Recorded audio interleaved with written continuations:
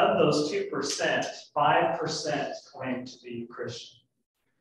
All right, so when you're looking at about uh, six and a half million indigenous people, of, which um, 5% claim as their founding religion as Christianity, it's a fairly small number of people um, that claim in that, in that status. And in fact, my brother attends the Church of the Indian Fellowship over in uh, Puyallup, just actually Tacoma, Puyallup, right between.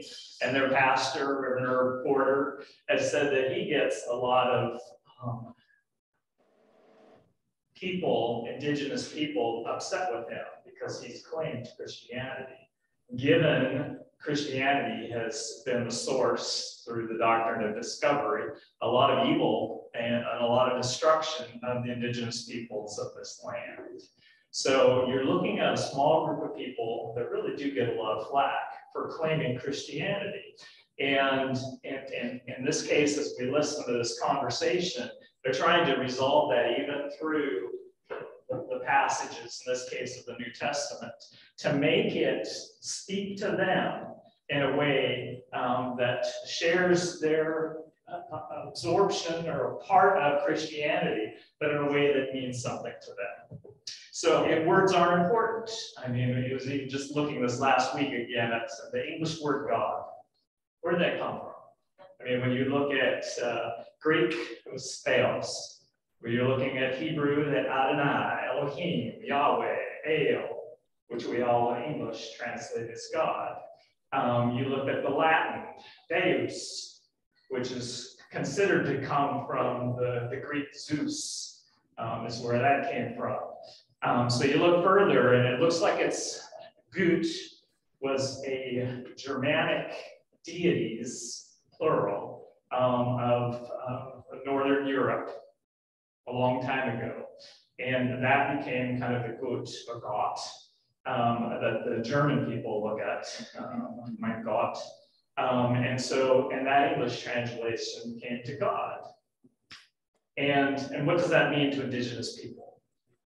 I mean, even we have acknowledged a certain um, Western European understanding and used the word God. So they're trying to make it meaningful for them. So as you'll hear here in a few minutes, that might be great spirit, great mystery, creator. All of those express a meaning of what we may call God. Um, this conversation, Terry Wildman and uh, Mark Charles, um, goes into, he speaks more of how, how it all started in creating this translation. And I'll let their voices speak for uh, what they have to say for us.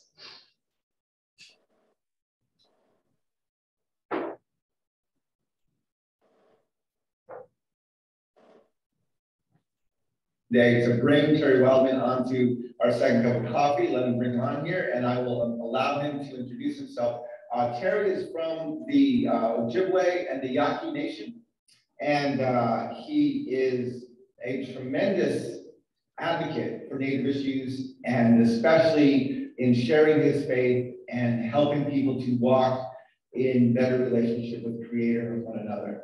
So Terry, thank you for joining me this morning. Um, the floor is yours. Please introduce yourself. Thanks for joining right. me today.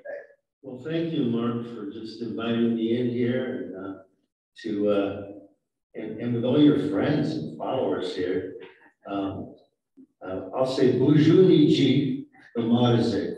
Hello, my friends who share this life together with me. Uh, that's in Ojibwe. Uh, um, my, uh, my ancestry, my native ancestry comes from the Ojibwe in the Great Lakes region, uh, primarily from Ontario.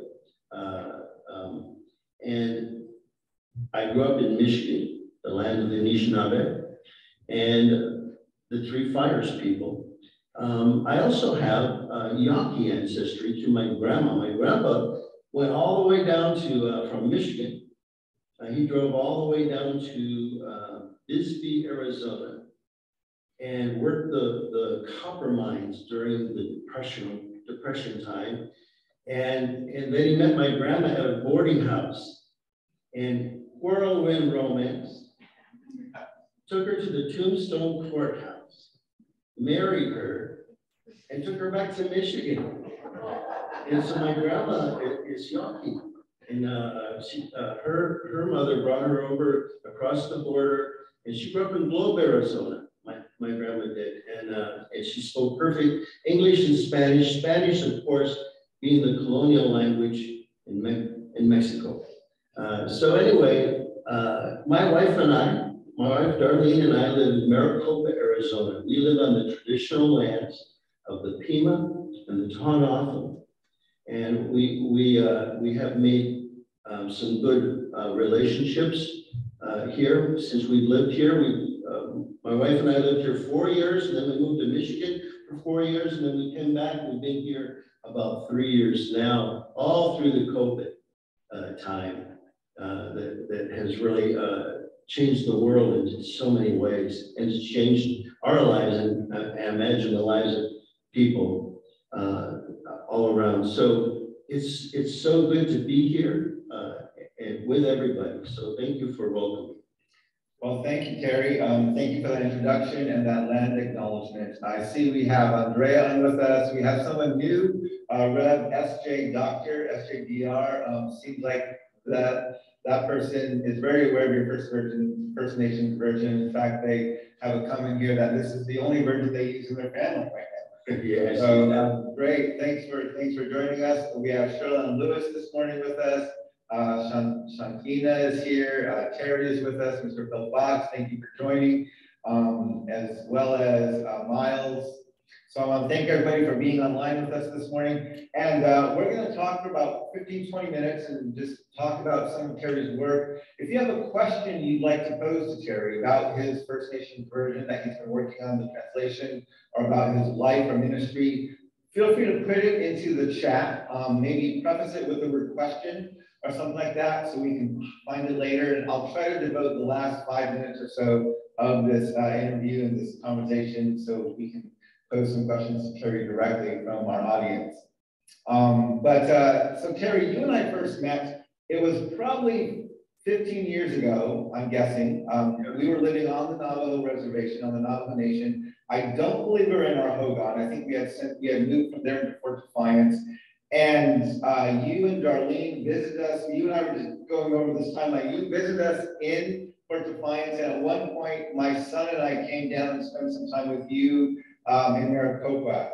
And um, I know we talked about a lot of things there. I don't recall talking about a First Nations version of the Bible. Um, I'm curious, of when did you first get the vision to do this translation? And what was kind of the, what was kind of the, the, what was pressing you to, to put so much, because I know you've been working on this for years now. What, what was kind of the, pressed you to put so much effort and so much, um, energy into getting this version, um, into the hands of people like it is today? You know, back in the year two thousand, which were, how long has that been? Uh, Twenty-two years. My wife and I moved onto the Hopi Indian Reservation in northern Arizona. And uh, at that time, we were just kind of ignorant missionaries. Uh, You know, personally, even though I have Yaqui and Ojibwe ancestry, I was not raised in the context of my culture. And so I wanted to learn as much as I could. So moving on the Hopi res, and the Hopi being a quite traditional people, even today. Uh, they held on to, uh, to their traditions, maybe in ways, uh, that others have, have, haven't been able to do. Uh, and so, uh, living there just made me realize as I just, I, I joined a- an organization called Youth with a Mission. And we began to just, um, from there, just learn. And I just realized how ignorant I was, but what happened along the way, as I would, uh, we would have small gatherings and talking circles, I would go into the Hopi jail sometimes, uh, and, and, and, and we would work on things, and I just began to see that the standard English translations of the Bible weren't connecting very well. I didn't know what the answer was to it. Um, but later, after I left Youth with a Mission, we decided to uh, um, pastor a small church on Second Mesa. Uh, that was uh, the sun, the Sunlight uh, Mission there, the Sunlight Mission. And, and from there, I, I found a case of Hopi Bibles translated in the Hopi language. And, and they were stored away and no, we didn't use them in the church gatherings. I never saw a church gathering where the Hopi Bible was read from. And so I just began to ask around, I began to ask questions, and what happened was I learned that that most people, over 99% of the people there couldn't even begin to read from the Hopi Bible, so it wasn't being used. And this made me start to question some things. Uh, and and though that questioning went on for years, it wasn't like I sat out to plan on doing a new translation of the scriptures. As a matter of fact, that was the farthest thing from my imagination. But I did begin to question a lot of things. And along the way, I was learning uh, the story. And I went through my own crisis of faith during this time. And I began, began to see that I had been pre-programmed and pre-taught certain things about uh, Christianity, about God, about Jesus, about Native people and, and Native ways. And I, I, I found out that I had to unlearn so much. And in that process, after about three years there, I think it was around 2003, I just began, after researching, to see that, that there hadn't been an English translation. I found out that probably over 90% of our Native people, because of the boarding schools, because of the, the, the uh, which were run many times by, by Christian organizations and, and mission organizations and churches, ran these boarding schools that was taking away our language. So at the same time, some missionaries were translating uh, the Bible into our native language, other missionaries were taking our language away from us, stripping us of that language. And so we were never encouraged to learn to, to read our languages and, and to, or taught to, to, uh, to do that. So these Bibles uh, often ended up in storage facilities. So, uh, so over the years, I began to experiment with this idea that we needed an English translation that would um, that would help Native people kind of decol decolonize the, the scriptures. Um, and so I began to work right with the Native people I was with, with Hopi men, Hopi women, some of the Diné people, the Navajo people, and just began to experiment with this idea of rewording the scriptures uh, to relate to, to our native people, to use words in English that, that was closer to maybe our heart language, the way our elders might have spoken to us. And so it took, you know, starting in 2003, just experimenting with this and getting feedback, it took until about 2000 uh, 12 before I actually thought, I need to do this. I couldn't find anyone else that wanted to do it. I couldn't find anyone else that was uh, that was involved in it. So I just began the process myself with the help of some some uh, friends. And so that's kind of the short version. Uh, there were some steps along the way that I missed, but that's kind of where it came from, and it grew from there. Yeah, thank you so much for, for sharing that story because so that fits right in with our timeline, right? So I was kind of meeting you and we were getting to know each other well. You were kind of playing with this idea, but it wasn't a concrete goal. Mm -hmm. let's get this together. But um, I do remember talking with you about your work with youth with, with um, in Zuni and with youth youth with a mission. Yeah. Um, and what you were doing there. I want to share with people, there's a link, so there's a, a, a website online. It's uh, a website made by Terry called just the First Nations version.com. And in there, there is a link where you can, there's links where you can purchase a version of the Bible, as well as where you can download samples of the Bible. And so, for example, let me just, I'm gonna put this uh, version up on the screen for a moment and just allow people to see briefly, and I'll, I'll, read one of the examples. So if we take John 3.16, right, this is a very common trans, uh, common verse that most people know. And in the First Nations version, this is how it reads. The Great Spirit loves this world of human beings so deeply, he gave us his Son, the only Son who fully represents him. All who trust in him and his way will not come to a bad end, but will have the life of the world to come that never fades, full of beauty and harmony. Creator did not send his son to decide against the people of this world, but set but to set them free from the from the worthless ways of the world. Now, for people who know the, the, these versions of the Bible, right, um, Amita, that's going to sound different. So maybe walk us through what are some of the changes you made? Because I know you had like you tried to be very consistent. You just didn't translate each one, so, but you tried to use consistent words and phrases, and you you applied different names consistently throughout the Gospels and throughout the letters. How did that work? Maybe you just talk a little bit about that.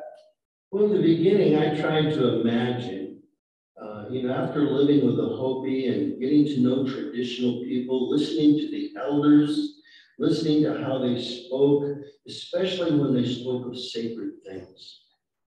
And as I as I listened to that, and as I, I tried to imagine what would what would uh, how would say Black Elk and a lot of people have read his books. You know, I know they're translated from, you know, uh, there, but a lot of that translation or Chief Joseph or some of these, these early elders who, when it was translated to English, it came closer to almost uh, word for word from their own uh, indigenous languages. So I tried to imagine, what if an elder was telling the story of the Bible? of Jesus, mostly of Jesus, you know, uh, what, what would it sound like if, if one of these, these native elders uh, who, who still held on to their traditional identities very strongly, what if they were telling the story? What might it sound like? And, and, and again, we don't pretend uh, that we're representing all Native people in doing this translation. We have a council of 12 and we've had over 25 indigenous native people from, from this land, from all many different tribes, many different geographical regions, have all been involved in wording of this translation. But we intentionally, uh, my vision was to intentionally stay away from certain kinds of words because there are certain words and ways that it's translated because of the boarding school experience. Um, you know, we use the word, I'll, I'll use an example, the word sin. Well, how do you understand the word sin? What is a sin? You know, and and and you know, we, we use it all it's used all the time, but in boarding school, it was a sin to speak our language. It was a sin to wear our hair long. It was a sin to pray with a feather or to pray with smoke. And so that word sin kind of got mixed up into removing our nativeness from us and removing our identity. And it was used improperly by the dominant society and dominant uh, uh, culture to, you know, use a spiritual book like the story of Jesus to try to force this way on us and to make us feel guilty about who we are as a people. And that Creator can't accept us as native people, we have to change and be like the, the colonizers and to follow him. So I wanted to imagine the idea that we would use words that, that wouldn't immediately set barriers up against the message of Jesus, creator sets free, and let Native people decide for themselves. You know, it's been forced on us for so many years, but Native people can decide for themselves, I know that traditionally, uh, I've talked to so many elders, we're always open to spiritual ways of other people. What, you know, and it's sad that, that so many of us now, because of this colonial uh, experiment, I guess you would call it, um, have a what I call a, a, a, kind of a warped view of who Jesus Creator Sets Free is. And we were hoping that maybe through this translation, it would open up ways of looking at Jesus that are non-colonial. And I think even at the end there, you use the your translated phrase for Jesus, right? Right. Because you use Jesus throughout the scriptures. What's the, the phrase that you use? We use creator sets free. And one of the things that um, I learned from, um, uh, I've, I've been through a mentoring process with a lot of my, uh, with, with the Anishinaabe elders and, and, and things. And I learned uh, that, that traditionally we were, uh, our names all had meanings.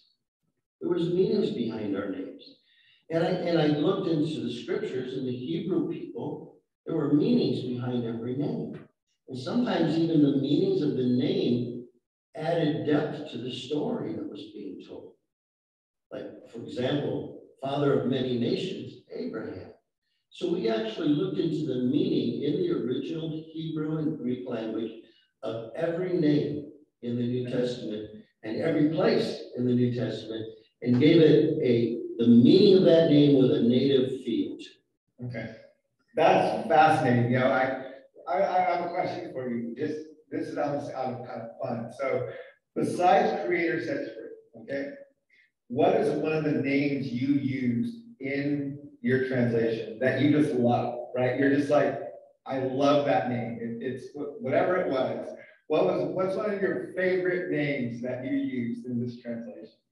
Well, it kind of like um, you know, uh, small small man is Paul, and he wrote a letter to a, a people uh, called. In that letter, the people were Galatians, right? Yeah. And Galatians means land of pale skins. I, just, I just thought, wow, you know, what a perfect thing to get to put in the scriptures, in this sacred book. And, you know, uh, and, and just because that's what it means, you can look it up in, in the language. So that, you know, I, I guess from that point of view, I had a little bit of a fun with that idea and of how that might impact a lot of people. And it might wake, it might actually wake some people up. What? You know, what is he talking about there? You know. What's one of the names that generated the most debate or discussion amongst your your team as you were trying to decide on which one? What what name did you kind of have the put the most effort into a lot of different opinions and making sure that you got it right? Well, that's a really good question. I hadn't thought about that for a while. You know, as we try to um, uh, uh, look at uh, what to call God, right? I mean, what is what is this name God? What is this word God? What does it mean? I remember I wrote, I wrote, I read a book, something I think it was called uh, from a missionary, a Wycliffe missionary who translated the scriptures into Navajo. And and uh, and they used the word God, the God. Yeah. And so early on, the, the, the Navajo people were kind of like, God, what do you mean God? And, it, and of course, it, uh, later when they got a Christmas tree and they put the Christmas tree up, they go, oh yeah, good, good. it's juniper. yeah. You know, that's that's the nature of this spirit, this powerful spirit. And and and uh, and so uh, you know, it's so for us finding the right term, but, but where we the challenge for us was we couldn't be tri always tribally specific. We were trying to have a, a general way that most uh, Native people might refer to the Supreme Being. So we used terms like Great Spirit. Some people, some of our team didn't like Great Spirit. They thought it was too Hollywood or too this or that. So we had to work through all that Great Spirit Creator. We use some other terms uh, giver of breath, maker of life. We, we kind of searched for some, some, uh, some versions, great mystery for like the Anishinaabe people. And then we just freely used that to replace the word God, God, which is a German origin word that, that comes, that really has very little meaning to anybody, except, except that we apply meaning to it when I hear about you talk about your process of going through this and the input you got from people of different nations, I, I can't help but think about my grandfather, who was a translator for some of the missionaries, the white missionaries to our Navajo people. He even helped translate some of the hymns and even some of the Bible. And he would get in trouble, right? Because they would preach and they would say their thing and they would use a term and then my, my grandfather would talk for two or three minutes, even though they only said a few sentences. And they would say, are you adding to our message? What are you doing? He's like, no, I'm, I'm trying to capture what you're saying, right? I can't just translate this directly over. And so he was having that committee meeting in his head, right? As, as how can I best explain the concept of sin or the idea of, of redemption or whatever, you know, to my people who are not going to have this, whatever background you need to have to, to understand these in the English sense. And so I, it really kind of warms my heart to hear about the dialogue and the discussion and even some of the back and forth that you had during that process. And I, I think, I, I think of my grandfather, how incredible a tool would that have been had he been able to have those types of dialogues um, when he was doing his work, um, you know, 60, 70, 80 years ago. Uh, one other question I want to ask you. So when when you're when the, this translation of the Bible first came out, there was we were in the midst of, COVID, and there was supply chain shortages, and almost immediately they sold out of the paperback copies, and they only had the the electronic ebook versions um, for several months, I believe. Yeah. Um, and now, you know, if you look on, if talk to InterVarsity Press or if you look online, even Amazon, the, your, this translation is selling very well. What have you seen as some of the, both the challenges of getting this book out there now that it's published? And what are some of the, the, the stories of, um, this is what it's accomplished, or this is the feedback we're getting from it? You know, what, what are some of the, the different responses you're getting and challenges you've seen as you try to get this version into the hands of people? Yeah, um, well, you know, when you're, when you take a book and turn it over to the publisher, you lose a lot of, there's not much you can do from that point on except ask them, what's happening? Yeah. Uh, and then they, oh, it's sold out completely, like within the first month. Everything, every copy we had, and now we can't get more because of the supply chain issues. We don't have the right kind of paper, and they're trying to figure out, do we use a different kind of paper which would make it thick and bulky? And different things like that. And so to me, it was, it was just, it, it was, it was a challenge. I would get emails, several emails a week of, of you know, um, native people who, who are uh, pastors and ministers out there who are just desperate to get more copies of this.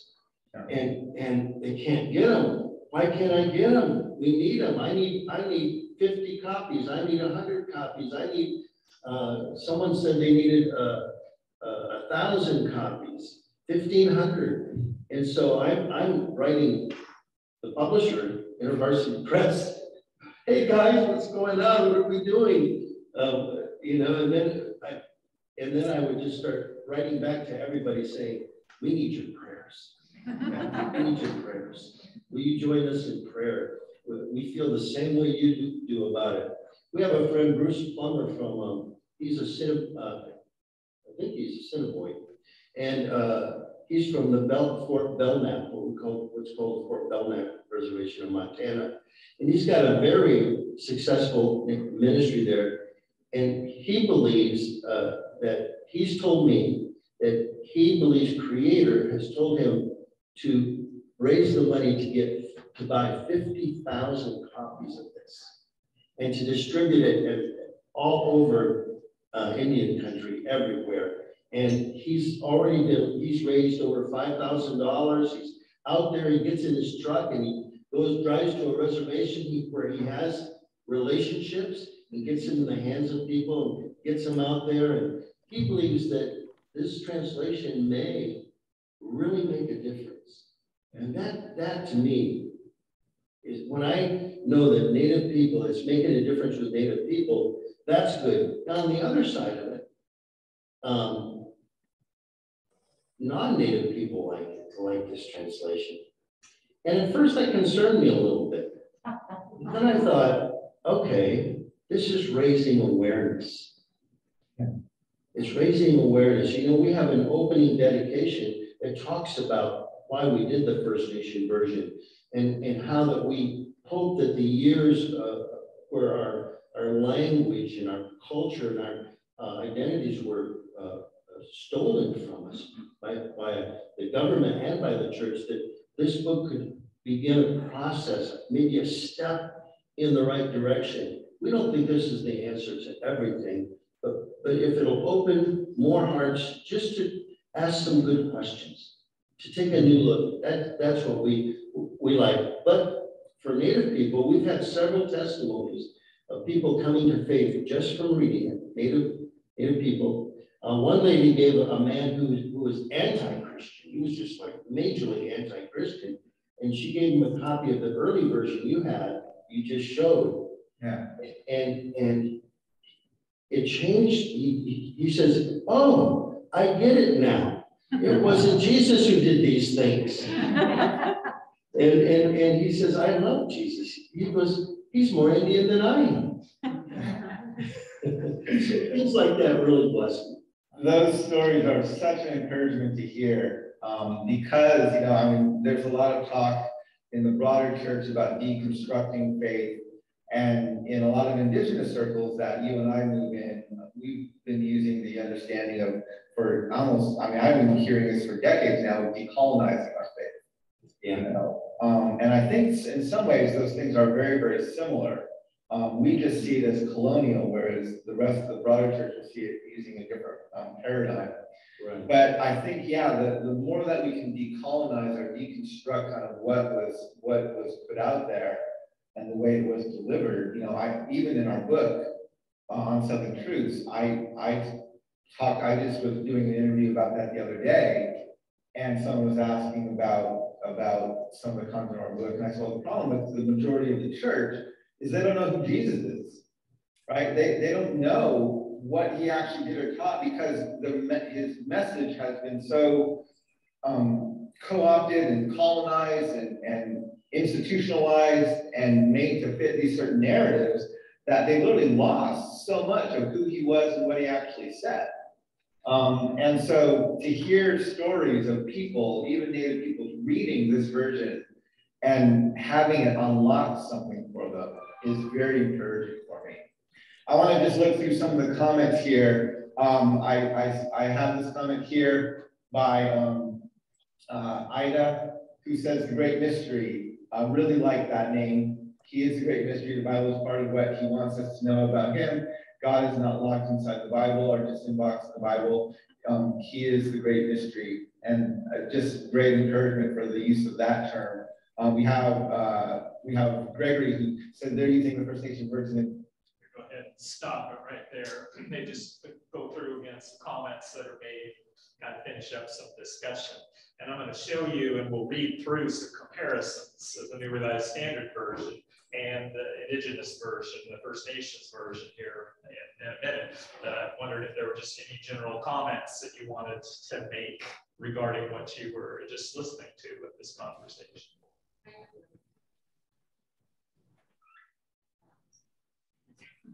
I thought it was interesting that one of the terms for God, I can't remember exactly what he said, but it was something like breath God or wind, and that's often how we also think of God as, as air, breath.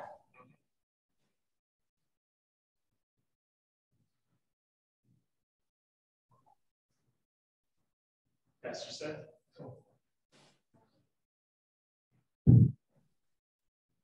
He was just talking about the fellow who said, I love Jesus, more Indian than I am.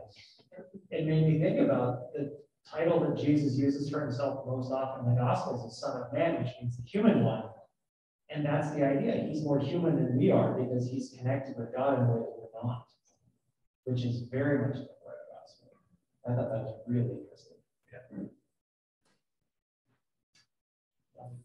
Just a thought, uh, perhaps in a larger context, is that the uh, original New Testament uh, texts that uh, were codified in, the third, fourth centuries are, are all Greek. But it's most, likely, it's most likely that the, uh, the people in Galilee were not speaking Greek, they were speaking uh, Proto-Aramaic. And uh, if you look at some of the other um, religious literature at the time, especially the Essene literature and Dead Sea Scrolls, uh, they use some very different terms that probably suggest just what a weak translation was from the Proto-Aramaic to the Greek was uh, during the early period. So when we think about the Bible, even if, even if it's, it's a weak text of, of the Greek uh, Gospels, those are the symbols, translations from a Semitic population to a uh, Hellenistic population that have very different conceptual bases for, for all of these uh, ideas that were being before. And so when we think about the indigenous translations, uh, they are speaking uh, to these words in their context. And to my mind, there's there's no question of legitimacy uh, in any of this because we are all uh, at varying degrees uh, wisdom from the, uh, from the root text of, of the message. Very true. But that's why I like the, the term for Jesus probably would used for himself as Yehoshua, which would mean God saves. Um, and that gets translated through a lot of processes to get to what we know now as Jesus. That's why they call creator sets free.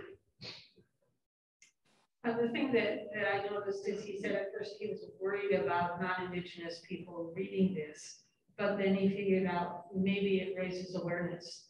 And um, I think that we have just were educated into this very rigid um, version of what all these words mean and, and what it says. And, and I don't know that anybody said, you know, taught us, well, you know, Jesus spoke in us and in a way that was meaningful to the Semitic people, and then the Greek people did a Hellenistic version, and now we've got in and to just raise our awareness that that their concept of God broadens as we um, find the language to um, speak to, I think what he called it, to our heart. So I think it's it's good for us to be exposed to um, these kinds of translations. And like you were last week with the Lord's Prayer too, you're just looking at how, how meaning, It, it the feels like, is for them. yeah, yeah. Okay, why don't we go ahead and look um, at just a couple, these are lectionaries, um, uh, verses from the last, New Testament verses from the last few weeks.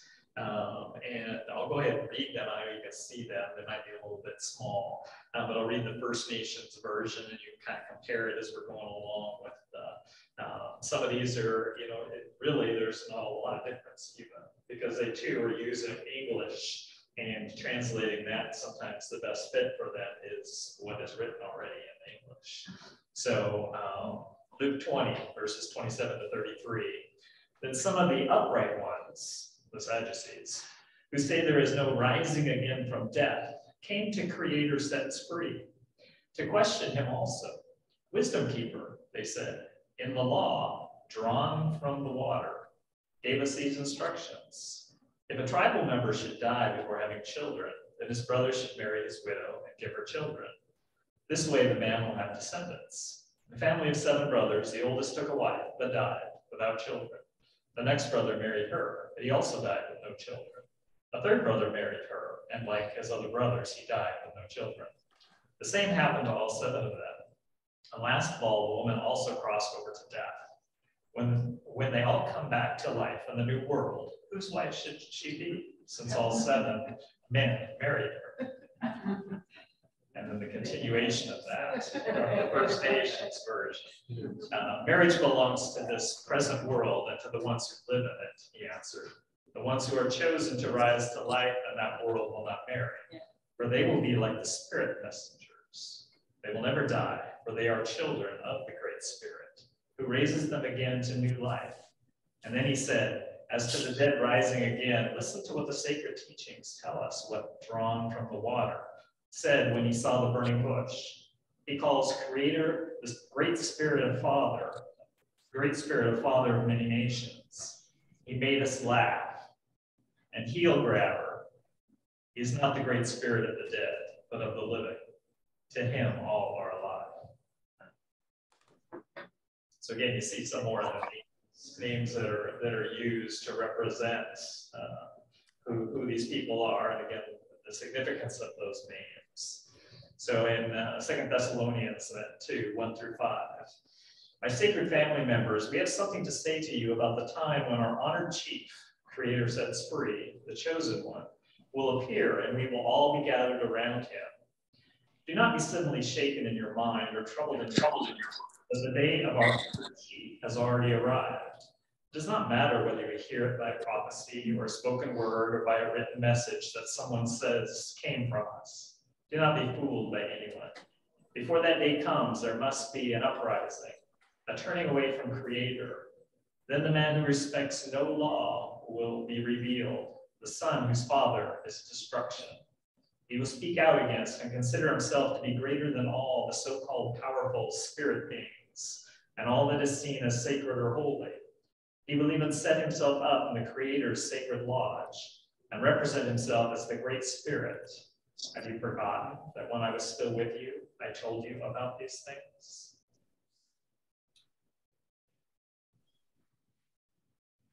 And continuation then, my sacred family members, loved by our honored chief, we owe thanks to the Great Spirit for you. He has chosen you to be first among those he will set free and make whole, as you trust in the truth through his Spirit, who makes you holy. Creator used our telling of the good story of the call you to, him, to call you to himself, so that you would share in the order that shines from the face of our honor, excuse me, the honor that shines from the face of our honored chief. Creator sets free, the chosen one. So then, my sacred family members, stand strong and hold firmly to the traditions we, we taught you, either by voice or by letter. We are loved by our honored chief, Creator sets free, the chosen one. And by our Father, the Great Spirit, it is through the gift of his great kindness that he has given us good hope and comfort that will never fade away. We pray that he will now lift up your hearts and strengthen you in all the good things you do or say. got some more, we're getting close to the end of the time. I don't know if you, just a general response to some of these. It is uh, Native American History Month, the month of November. Um, and a, a, great time to, to be looking at uh, the, the, expressions of Native American people. Um, and even then, he didn't get into it in this particular version. Um, First Nations is often a term that's come out of Canada when you're referring to what we often say indigenous people or Native Americans. Um, and he, he, discussed that that was kind of that First Nations understanding is kind of moving into the United States as well, people's understanding. And that's why they use that title. So there could be indigenous peoples that will often use uh, Native Americans, and even often some indigenous people will use the term um, Native or uh, Indians um, as others we see in, in, this world that accept often derogatory terms that were applied to them, to take that on and represent some meaning for them. Um, some of them will do that as well. I know even related to that, Ronnie might be able to speak to it, but the Chum Festival is coming up um, this coming weekend in Gig Harbor. It hasn't been around for a couple of years, uh, but it's celebrating the return of the chum salmon to the, the creeks and streams. So this Saturday and Sunday, there will be a number of things. Uh, Wild Watch, is that the name of the? Harbor Wild Watch, which I think Ronnie's a member of. Um, they'll be there to, to share some of, again, this is a, a village. At the History Museum. Yeah, okay. At the History Museum is where these events will take place. They came out, I read them, I think, in uh, uh, the Now paper, Gig Harbor Now, um, had a little blurb on. I think the Tacoma News Tribune did too, talking about it. So those are ways that we can uh, be involved in and experience uh, this uh, Indigenous Peoples Month uh, of November. So unless you have some more comments, you want to look at the, this First Nations version of mine to take a peek at it. Um, I, I, love listening to them talk together I mean, and that's why I wanted to share. It's better than me trying to explain what, what I hear and read from them. This is them actually speaking, them telling their story, them being engaged in that story. And that's kind of what we need to do as people is to bring others in to, to share and express um, how they look at the things that we hold dear, the sacred life of, of, of Jesus within our understanding of, of God as well. Thanks. Thank you.